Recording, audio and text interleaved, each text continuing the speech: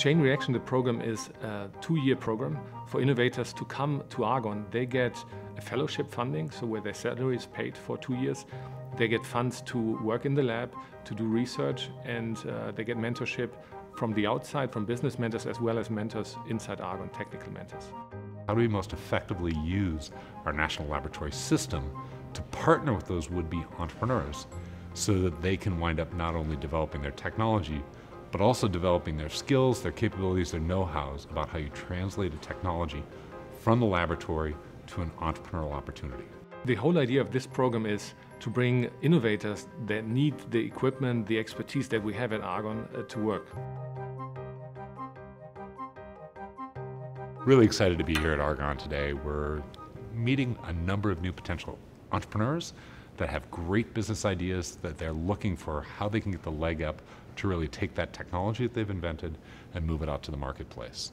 I'm here to help select the next cohort of the chain reaction program. What I look for in a company is do they understand the marketplace? Do they understand development time? Do they understand the funding and resources, you know, that includes people, um, that they're going to need to move their company forward? It's pretty much the program that solves all of our needs, right? We need capital, we need lab space, we need technical mentorship, and we need a, a, place to prove our technology and develop it and demonstrate it at the system level.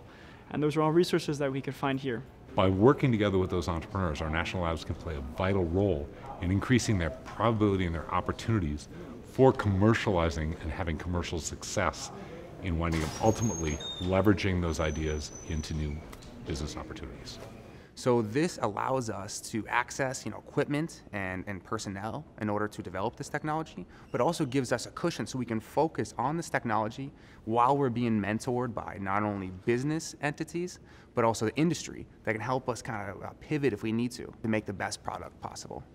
Honestly, I have been wowed. I expected very high caliber companies and people and technologies, but this is on a whole other level than I was even expecting. I believe that as a scientist, you want to understand the world, but you also want to have an impact.